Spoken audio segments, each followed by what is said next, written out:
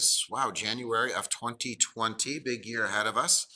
And with me is Ryan McGinnis. And Ryan, you are uh, kind of my colleague and friend from across the way. You, we are both um, integrators, uh, and we'll get into the details of, of what you do and where you live. Uh, well, maybe not where you live, but let's start off with the most important question of the day. Let's dig into uh, your favorite cup of coffee. Do you have a favorite blend, favorite place to go? I do. I have two actually, because I had to think about this for a little bit. Some days I prefer things a little bit lighter, so I like the Starbucks blonde. And then some days you just I like a darker blend, and I go to Dunkin' Donuts for their dark roast. And I'm just a pure nothing in the coffee. wow. All right. So full strength, full test, full strength. Good just stuff. jet fuel. So Ryan, let's just start off, and it's always best in my estimation to let you kind of introduce your background. So tell us first, uh, you know, your your background in education, obviously, and then tell us about your job right now, and maybe even, you know, for those seeing outside of the New York region, maybe talk about your BOCES in general and what that is, what that does, and your role within uh, the BOCES. Awesome. Well, thank you for having me. Um, yeah, this is my third year as a professional development coordinator, uh, focusing on technology integration with CA BOCES based out of Olean, New York. And um, I'm also the newly appointed data protection officer. So congratulations, me, right? Get an extra, an extra job responsibility tacked on. Um, but I'm a former 10 year uh, classroom teacher. So I spent time teaching fifth grade, second grade, and a STEM lab. And I've always loved technology. So this was just a great way to you know progress my career. And in between there, between the classroom and this BOCES job, I served two years as an elementary principal in Pennsylvania. So I've I've done the teaching route, I've done the admin route, and I think this is where I like to live the most as a staff specialist, you know, for professional development. So my job, as you well know, is um, I go around and I help teachers who want to learn more about technology and I try to find a lens that fits for them. So it's not just a one one size fits all approach. You know, we really try to make the tool match what it is that they want to accomplish in the classroom. So sometimes it's on demand. You know, I need triage help right now. You know, help I'm logged out, help I need this. And some days it's I get to go in in front of a classroom and bring some robots, really get into coding and, and in depth with some fun aspects. And other times I just get to host a PD workshop on you know something relevant and engaging that I really uh, and feel passionate about. So it could be technology, uh, AR, VR. It could be even one of my genius hour, like an, an internal thing that I really care about. Um, so I get the chance to really explore things that I'm curious about, and I get to present on them. So that's kind of like the role of the BOCES. Uh, Pennsylvania doesn't have a BOCES. This was a shift for me. You know, we have uh, an intermediate unit, and they don't get relied on nearly as much as what a BOCES provides. So um, you've worn a lot of different hats, a lot of different perspectives. Um, as a technology integrator, what are some of your day-to-day, you know, inner workings? What are some of the challenges? What are some of the the highlights of your role? so what I really like is I'm one day a week at Hinsdale Central School, and then I have about 11 or 12 other districts that I'm in throughout the rest of the month. So I'm always on the road, and it's a new place, and a new a new face every day, and I like that. Uh, it brings a challenge to me. You know, I'm always on my feet trying to find out what it is that I need. But it's also the biggest thing that I sometimes dislike about the job is I never get to see, not never, I hardly ever get to see a project through because I'm one day a week. Sometimes I can start something and I want to to watch that progression of that classroom teacher finish it off, and um, sometimes we just don't get to see that. So I like being able to, to help and, and get them started and guide them in the right direction, but sometimes I miss being able to see the, the end result and the fruition of that project. Well, and, and talk about kind of your journey a little bit deeper. Um, when we were talking offline, you were you had mentioned um, your background as a student. How did that kind of lead and, and blend into what you do now? So, so let me tell you, I took the took the long way to education. So I, I was always a good student uh, straight A student, my parents really instilled in me the value of a great education, and I really worked hard at it. Sometimes things came easier than others. So math and science, I was fantastic at. Uh, ELA, even to this day, you know, I struggle sometimes with with understanding some concepts. Uh, but I I know that's a weakness area of mine. So I've always worked to try to learn to get better at things. Uh, in school, because of my love for science and the devotion that I gave to it, I actually went to uh, pre med out of college or out of high school. So I went, went to Duquesne University for pre university for pre med. Thought I was gonna you know spend the next seven years getting ready for medical school, and after a year, I realized that I didn't have that love, um, that in, that heartbeat wasn't the same, and I really wanted to um, get back into education. So that's where I decided I was going to switch and transfer back to the university in my hometown of Clarion. So I went back to Clarion University, finished off my education degree in two and a half years, and went you know all summer long. I just wanted to get through, and then I took a job right out of college in West Palm Beach. So it was thanks for the diploma, and I'm gonna see you later. And I loved the fact that I was you know, young, graduated, and at that time, that was when you'd have a thousand applicants for a teacher's job. You know, there's only one one opening, and I could go south, and it was you know they welcomed you with open arms, and they were just ready for for someone to be in the classroom. So that kind of led me led me here. I love technology, uh, being in that classroom, you know, seeing uh, an urban setting in West Palm Beach, coming back home to be closer to family, and figuring out that there's a big change from West Palm Beach, Florida, to you know, little little Clarion, Pennsylvania is a big difference. You know, they don't have the vast resources. They don't have computers in every classroom. Uh, it's just that's where my love has come to try to, try to equal the playing field, the playing field, bring some equality to education uh, through technology. So let's dig into some of those, uh, you know, big technologies. So there's a lot of, um, I guess, there's some technologies that are on the horizon. What are you seeing as technologies that are on the horizon that are interesting to you? Things that you kind of got your um, maybe exploration hat on to dig into deeper. What are what are some of those things? So I really love right now, and it's hard for me to say because I never was a Microsoft guy, but I'm really digging uh, Microsoft Teams right now. Just the way that it wraps that entire product around the core Microsoft apps. Uh, it just makes the streamlined process for the classroom so much easier for teachers. So I've been really doing a lot of work around getting the uh, paperless aspect of the classroom started with Microsoft Teams. And then I've got my favorites. Uh, Flipgrid, I really enjoy digital literacy and digital story storytelling. And I love the fact that students can record quick snippets uh, inside the Flipgrid app. Wakelet, I love the idea of a content curation tool. So I really love Wakelet. Uh, I can't wait to explore that more with teachers this year.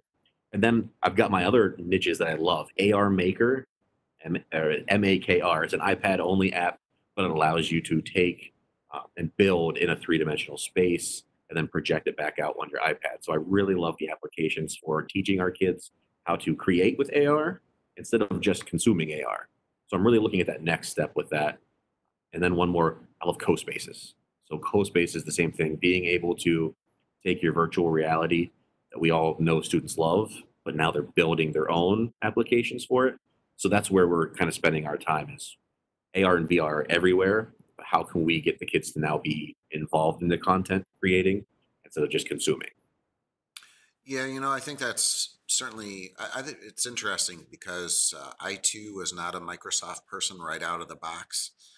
Uh, well, let me actually reverse that. I guess I started as a Microsoft person and then thought, you know, oh gosh, Mac is the is the company that's doing all that. Then Google comes along with Chromebooks and really is starting, you know, classroom and doing all this dynamic stuff. But Microsoft really has all of a sudden exploded back on the scene in education and the apps and things that they're using from Teams to even PowerPoint uh, yep. is all of a sudden becoming, you know, we all thought PowerPoint was was going to fade away, but uh, it's actually back in. I think it's back with a vengeance. it is, and it's so powerful. It's so many things you can do, and they're also making it so it's pretty fluid whether you're in the online versus the you know desktop version of their their applications. Yeah. So I definitely think Microsoft has has come back uh, with a roar and I, in education. Yeah, I really like the fact that they're focusing too on the inclusive technologies. Not that that you know it has to be a, a mindset of theirs, but the fact that they're bringing that to the forefront and evening the playing field for all students it just, I mean, that's one of their core components right now. And you can see that with the transcription inside of PowerPoint and the coaching inside of PowerPoint. Like that's there's two ideas that PowerPoint never had, and they're floating. You know, immersive reader being turned into an open source platform. Those things really just have changed the game. Absolutely, absolutely, and they've really actually, I think, become a leader in that. Uh, Very. those features. You know, again, I, want to give Apple their their due credit as well with this with the Oh yeah. accessibility options they've done in the iPad that they've had for a long time. Yes. Nobody really knew they existed, so No, um, right? but they've always been powerful. So I definitely got to give them their their props there. But And let's um let's dig back into what you were talking about AR and VR because I agree with you. Like the creation is the key mhm, piece and it's the challenge you know i think as an integrator as a former teacher you know full-time classroom teacher in the trenches you know time to learn these things is a challenge let's face it and then yeah. you know uh, you know something like CoSpaces i think does a really nice job of making the complex simple Easy. but Yeah. it also takes some understanding and it also takes some patience with teacher and it takes some time to develop uh, you know a good co-spaces activity and lesson and, and true you Mhm. could let the kids dig into it on themselves but it does require the teacher to have some some knowledge of the program and, and even just to set up a class that sort of thing how do we kind of Mhm. ease that burden um, for teachers and and hopefully not only have their their students created which is ultimately where we want it but for teachers to be creators as well I, like the fact that we in our region has been able to host a couple co-spaces workshops, and not just co-spaces, but we do AR VR workshops, and we showcase pretty much the the entire gamut of here are simple, easy buy-in AR VR concepts. You know, the quick five five cent apps that you can get that just really you're in, you're out. Uh, things like sixteen hundred, you, you hover over the, the dollar bill, you know, and there it is. And then we get a little deeper, and we're talking um, some of the tours and, and things you can take through like Google Arts and Education. They're being able to to zoom in and see these different applications. And then now we can drum all the way up to the upper level. Uh, so throughout a day, we get to build that scaffold of we'll give you a little bit of easy stuff, we'll give you some middle stuff, give you some higher stuff. And wherever that comfort level is at the end of the day, I feel that we've really given them some place that hit their comfort level. So we spent some time at summer tech camp going, you know, we've given you an introduction to co-spaces. If you want to come and get a little bit deeper of a dig, here's the chance to do that now. Sometimes it's us going into the classroom and being able to put my teacher hat back on for a good 45 minutes and say, I'm going to build with you. Your teacher is going to sit as one of you do, and let's build together. And I can put the challenge out in front of them and say, we're going to build, you know, a jungle safari. Everybody puts their jungle safari on their screen and give them minor things to do that still lets them have some open spaces, but they're they're able to kind of fulfill a task and then see that no one does it the same, which I think is, you know, it's missing sometimes in education today. There's not a we got to get create some creative thinkers out there. You know, that's that's missing somewhere. I don't know. So I really try to get them to do that and get the teachers involved, let the teachers and the students see that there's not a right or wrong way and get them involved just like the students are.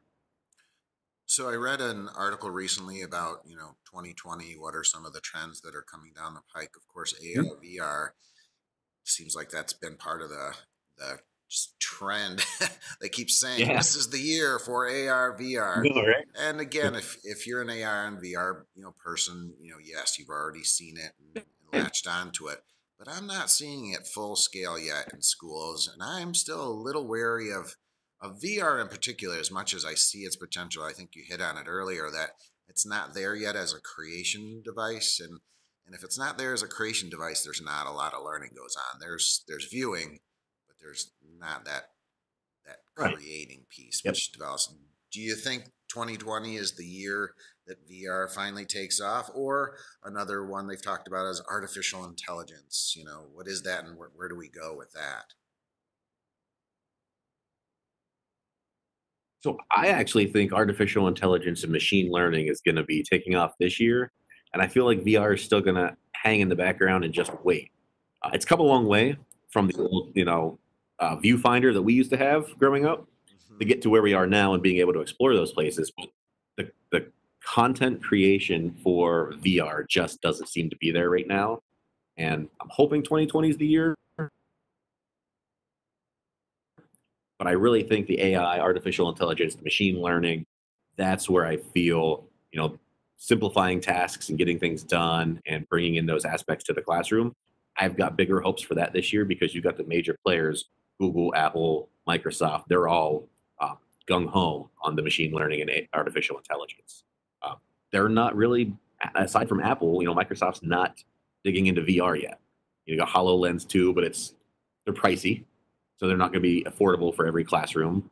Uh, Google's, of course, got their their cardboard and they've got their tour creators, but you know, we've we've talked before into the school districts and just networks and getting those things to work.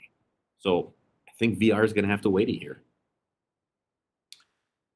So let me just bounce back to my questions here. Where do you go? You know, one of the reasons I, have always liked uh, chatting with you is you really have just such a depth of knowledge about all things tech where do you go for your sources of ideas and inspiration? Are there people that you follow, places that you follow? Um, where does it, where does that come from? Where you get that breadth of, of ideas and resources? Yeah, so I'm a very avid. I don't call myself a reader, but I guess I I'm an avid reader of short things. So of course you get your popular things like EdSurge, you get Mashable, you know, quick quick accesses like that. Um, I like to follow The Verge, 9 to 5 Mac, and 9 to 5 Google as far as websites, because I feel even though they're more uh, platform agnostic, I like to see what's coming. If there's new AR app that's out there, uh, I like to be able to stay connected with what's going on and try to go hands on and see what the application is for the classrooms. And sometimes it's a day wasted playing with something before I realize it doesn't work. And other times I'm ready to go because I see something happening. But I think the biggest part of it is Twitter. Twitter, I was reluctant to join another social media platform. I'm not really a, much of a social person, but Twitter really allows me to, I don't know, kind of come out of my shell on Twitter and able to, it's like on demand for my soul. I can just scroll through, and if I'm holding my son, you know, he's drinking a bottle, I can, uh, I can find PD, and I'm like, oh, I love that, and here's a great idea. I didn't think of this, and I can constantly save things and retweet, and the ideas that I've gotten off of that have been fantastic. And I think just like you've mentioned before, PLN and knowing the right people to connect with.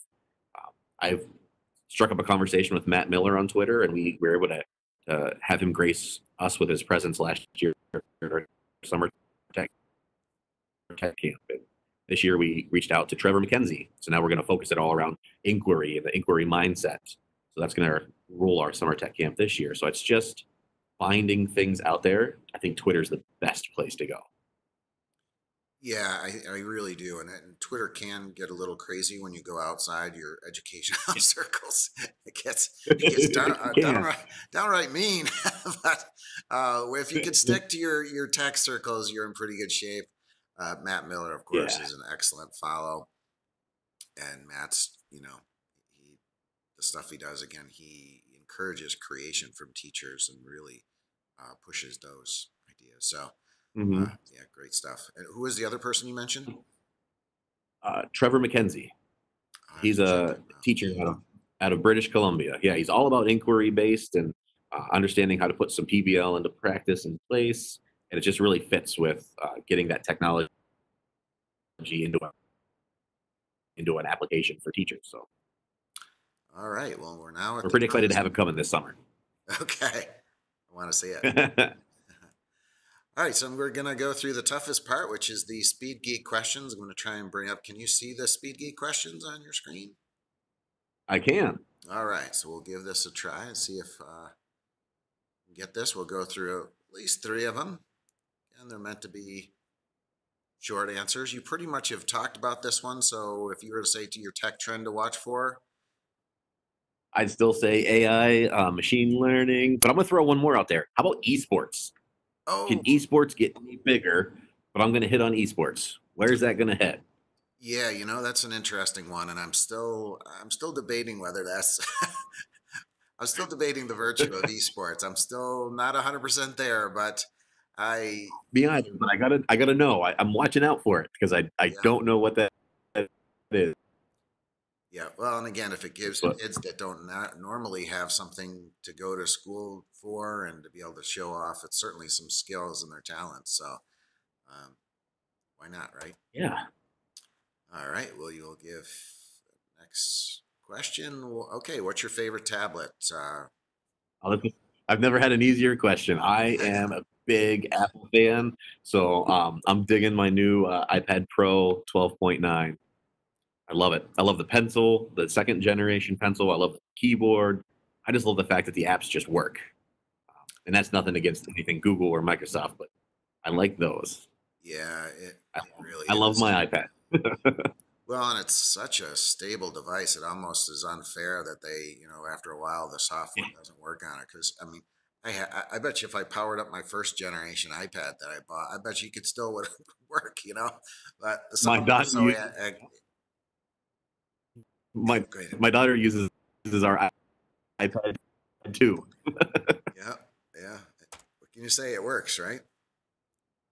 All right, we'll go one here. It works what's just your, fine. What's your favorite way to unplug from technology? Ooh, that's a tough one. So when I was an admin, I realized that I was always on demand. So I realized that coming home, I put a basket in the kitchen, and from four to six thirty, my phone gets put into that basket, and I don't even think about it. So I have some family time for you know two and a half hours of dedicated. You know, I'm, on the ground playing with my kids, or I'm outside, uh, and then after six thirty, usually after dinner time, I can pick my phone back up and, and start catching up on some stuff. But I think we we forget that we need to unplug sometimes, and even as tech guys, um, and just tech people in general, you know, I love technology, but I need that time away. So yeah, the basket of four to six thirty. that sounds like a really good idea. Yep, our whole family does it. So Uh, that's good. Everyone gets buy-in. All right, let's go one more here. Besides students, who or what inspires you? Yeah. Talked about a couple people already, but Ooh. Yeah, besides students, who and what inspires me? I think just anybody who's doing something cutting edge and cool, I get jealous and I want to do something cool and exciting too. So I'll see things on Twitter and I'm like, I want to do that. That that looks cool. And people who have really, um, I don't know, this might be a a side tangent here, but I never realized that Keynote on an iPad could do so many things. And it turns out that Keynote is like the secret key to making um, AR work and all these fun, fancy things they're doing. They're using Keynote as the way to do that. And that's blown my mind. So that has been a huge inspiration for me. Um, I've decided I want to become an Apple Distinguished Educator at some point in time and go through that cohort process. Um, so things like that inspire me. And sometimes it's just the students that when I look around the classroom, it's the ones who are disengaged. And I want to want to know what what are we doing that that kid's turned out already, and how do we reach that kid so that they're more engaged? So it's not necessarily a who; it's just that that kid who we need to reach. yeah, it's a definitely again a challenge of our age. Yeah, All right, let's let's go with one more here. And perfect. okay, this is always a fun one. So, what's your whimsy? Star Wars, Star Trek, Harry Potter? What what's that? You know, is it Marvel Comics? Whatever. No, so can I go? I'm going to go completely different. I might go non-geekish, but it's probably going to be a geekish answer. Does James Bond count? Sure. So I I may own every James Bond movie ever created, maybe three or four times. So I might I might have had it when they released the original sets on DVD, and then of course they came out on Blu-ray, right? So I have those, and then they came out with my Apple TV. I just also may have purchased them all on there as well. So I have have three three different versions of every James Bond movie that may have ever been made. Wow, awesome. Yeah, James Bond counts. You're the first person who's answered that one. I figured that might be the first one, so it's it's a different take on it. Yeah, it's funny. I, I won't mention his name because he always gets mad at me for for for blabbing this. But I kind of I'm proud of him. But uh, the one of the tech directors in the schools here locally was one of my fifth grade students, and now he's like a tech director at a school. And I'm like, yeah, I did that. You know, like, oh yeah, nothing. of course, but, but he was a big James Bond guy, you know, and I I remember that all those years later, you know. But so maybe James We're Bond is there. the secret to uh, to higher order thinking. we're out there. It's a niche group, but we're out there. awesome. All right, Ryan. Well, we are at the top of the hour. Thank you so much for your time. Keep up the great work. I'll be following you on Twitter and uh, let's connect. We'll see each other, I'm sure, around the block here. Nice. Well, thanks for having me too. Yeah. Awesome. Thanks again.